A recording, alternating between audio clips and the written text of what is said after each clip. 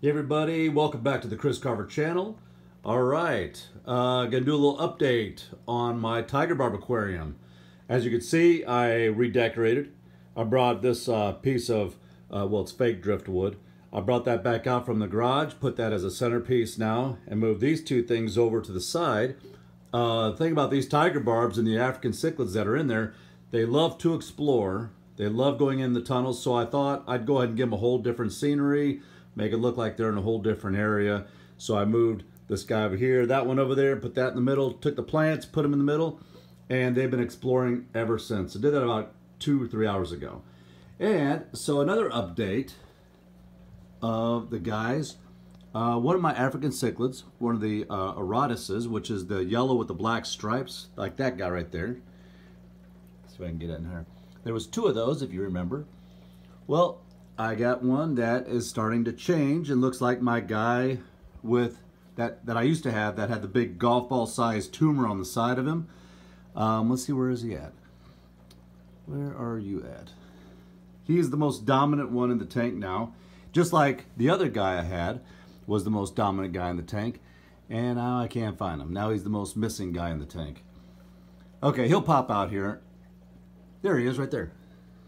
Okay, so that guy looked like the other one, the yellow with black stripes. That's an Auratus. And as you can see, he's the most dominant one in the tank. He turned purple, like my other guy that I used to have that died after a very long life. So yeah, I got the four African cichlids in there. Um, I do have two new plecos. They're like white spotted plecos next to the two gold nugget plecos, but they are definitely hidden away inside one of these things. They're, the whole thing inside here is hollow, so they get inside here from the bottom and they go find a place and yeah, then they're gone for uh, a couple months. I did see two of them today when I cleaned, but they disappeared rather quickly. So yeah, that is the updated aquarium. And the guys are getting big, really big, feeding a lot of brine shrimp, bloodworms, uh, flake food. Uh, I fed them only like three little pieces of ham since I got them. But I have been feeding a lot of night crawlers, and I'm going to show you. I'm going to put this night crawler in here and let you see what they do with the night crawler.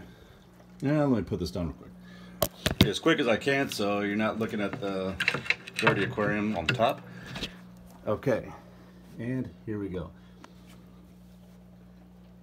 I get these night crawlers over at the gas station. They're too expensive. Now these guys had one this morning, so they're probably not gonna be all over it like they would normally be all over it. But they, there they go. They will tear that thing to shreds and eat every piece of it.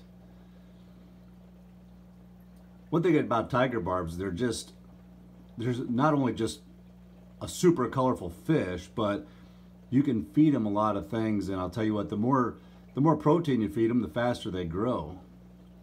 I've had tiger barbs for many, many years. Those of you who follow me on YouTube know I have tiger barb videos going way back. Love my tiger barbs. I like to spoil them.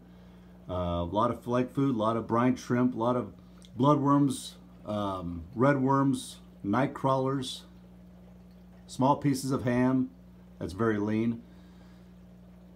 I like to give them what they want. They're cool, they're very active. They're always a showpiece when friends come over. And they're normally spread out everywhere. They do school a lot. Um, but yeah, the Africans are finding new places to hide. And yeah, I love this aquarium. Love it. But anyways, I wanted to do a short update. Uh, next time I'll feed the nightcrawler when they're all starving and not after they just ate a, a nightcrawler. But as you can see, they're, they're still going at it and they will tear that thing to absolute pieces.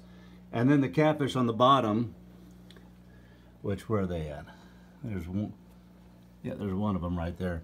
The catfish on the bottom will end up getting the pieces that fall and they will devour them as well.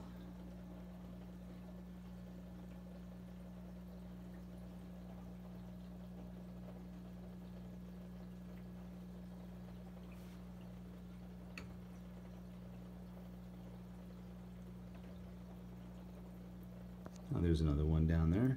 I think that's the feather fin or the Synodontis down there.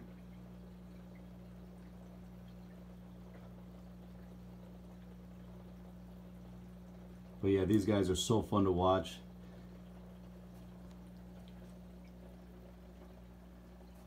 Okay, that was just a uh, a little update for you. So anyways, I'm going to head out. So uh, if you haven't already, be sure to share, like, and subscribe to my channel. And if you have any questions, put them down in the comment section below. Hit the subscribe button up here or down there. And see you next time.